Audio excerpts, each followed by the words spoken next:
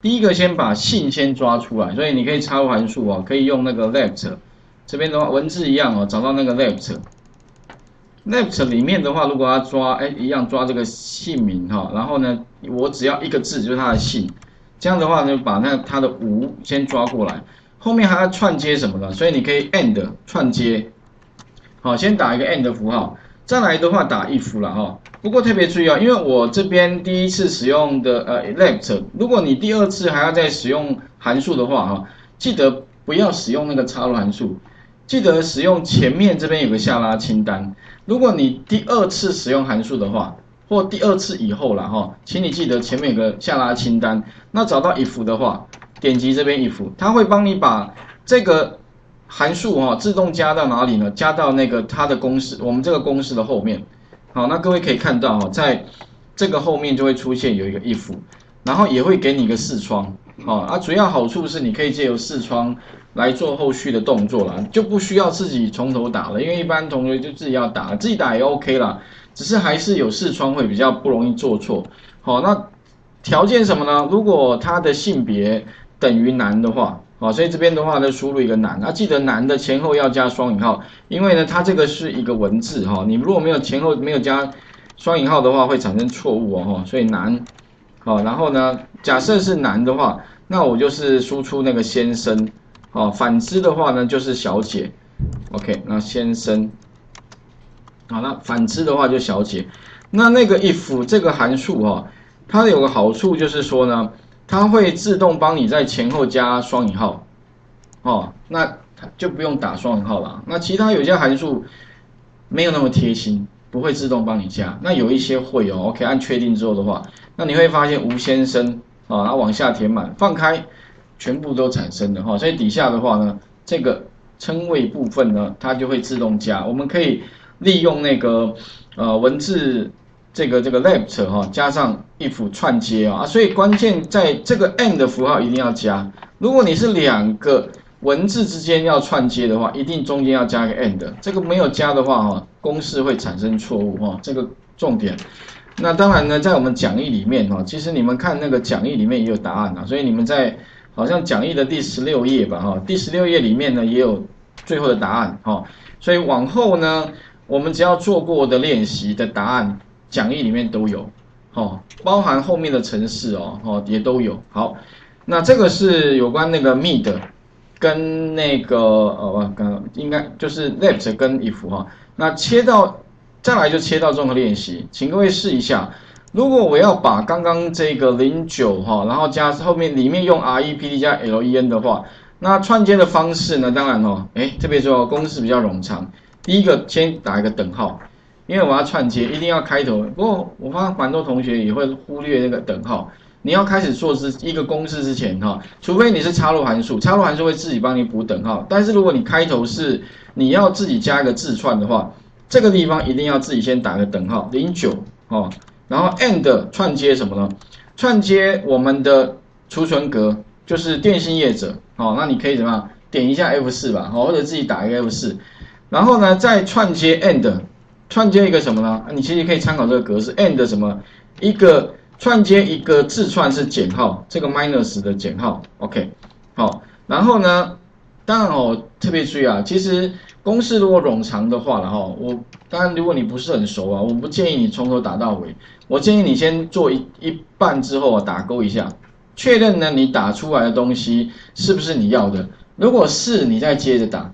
好，千万不要有些同学是闷着头一直打，哒哒哒，打完之后按打，哎，奇怪，发现错了，哪里错？不知道，因为呢打太多了，哦，那如果你渐进式的输入公式的话，即便错哈，你也可以马上知道哪里有错。OK，我不要建议是这样啊，不要一直闷着头一直打啊，打打完之后错哪里都不知道哈，然后再来 end，end 什么呢？哎，后面我们要是零八四。所以零八四你可以把它拆成两部分，一个是补几个零，一个是八四。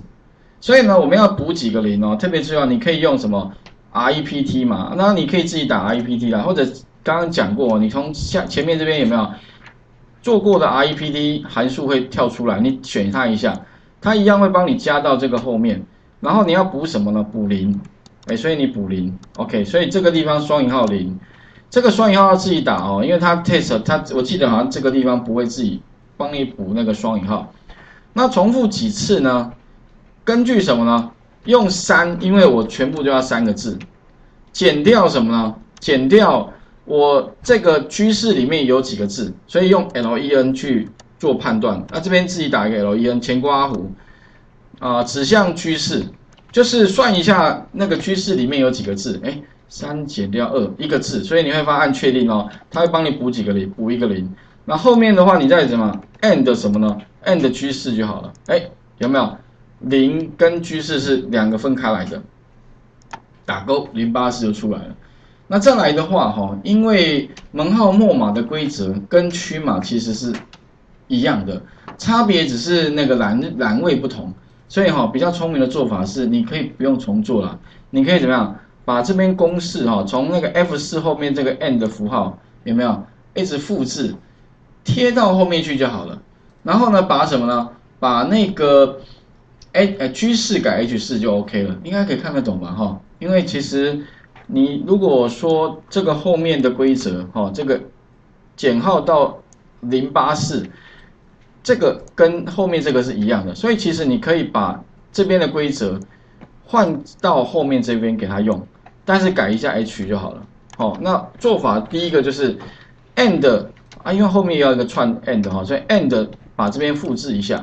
然后贴到后面去，复制贴上嘛哈，然后把 G 四改成 H 四。哦，我的习惯是选一下，再点一下，它会盖过去；选一下，再点一下，它就盖过去了。所以这样子的话呢，我们公式就做出来。不过比较容易出错是那个 and 符号啊，你中间一定要用串接，就是字串跟储存格中间如果没有 and，那一定会产生错误啊，这个是基本规则哈。好，打勾之后的话。那你可以看到，哎，我们的结果呢就做出来。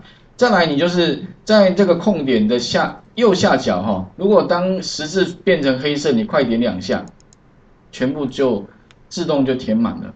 好，OK，那应该会吧？哦，点两下就全部，它会去侦测旁边的栏最下面的列在哪里，自动会到那个位置。哦，那当然之前我记得好像之前好像有个。呃，某一家公司也是，就是他居然不知道那个点两下的作用啊，哦，OK，所以这地方点两下就是自动帮你填满到最下方，哦，OK，那这个地方请各位哈先试一下这个综合练习，刚刚提到用 REPT 加 LEN 哈，把这个啊总共三个栏位的资料把它串在一起。那我想资料里面哈，经常性的可能你会需要很多个栏位变成一个栏位的资料。有没有？那这个时候你可以利用这些方法哈，像还有什么呢？把很多栏位变成一个编号，那编号又有编号的规则哦。你可以从很多栏位里面把它串接之后，自己再加上你需要的一些字串，那就可以产生一个新的栏位哦。那这个我想工作里面还蛮常遇到的。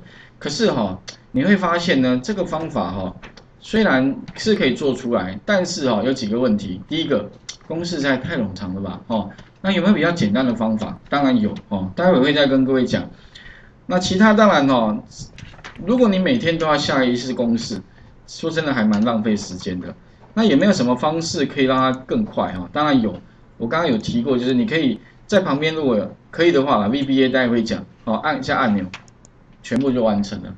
好，然后有个清除啊，清除那个这个是一个我们为了要方便啊，哎，可以把这个做完，然后清除，然后。那这个怎么做出来？如果你希望以后哈，你每天的工作啊，假设你这是每天都要做的事情，那尽量怎么样？你干脆就把它变成个按钮吧，按下它，这件事情就就搞定了。好，OK。可是问题啊，要怎么样把这个按钮给做出来？好，然后另外的话呢，VBA 里面还包含就是说，可能有同学说，老师，可是我工作里面呢，我希望不是按按钮诶，我希望可以帮我自动产生一个函数。这个函数的话呢，哈，呃，可以跟我平常使用插入函数一样的方法，帮我变出一个叫什么手机的函数。